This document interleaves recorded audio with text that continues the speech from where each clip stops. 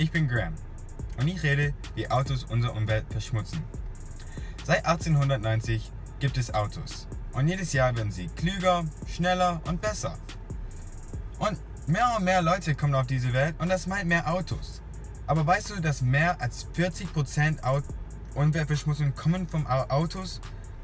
Das gibt's ja gar nicht. Aber da ist eine Lösung. Seit 1997 gab es da Hybrid, das meint Batterie und halt Benzin. Und seit 2011 gab es da Batterienautos. Und ich zeig's dir jetzt gerade, wie es funktioniert. In Amerika gibt es da viele große Autos und die benutzen viel Benzin. Und das meint Umweltverschmutzung. Aber du kannst es besser machen. Frag dich mal manchmal, brauche ich wirklich so ein großes Auto? Wenn nicht, kauf ein kleineres. So kannst du den Umwelt helfen. Wie du kannst sehen, mein neues Auto ist ein Hybrid.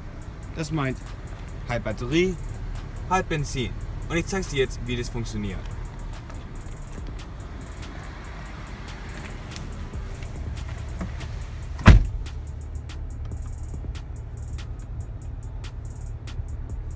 Wie du kannst sehen, ist er eine Batterie und ein Motor. Und das halt die Umwelt. Und du kannst es besser machen.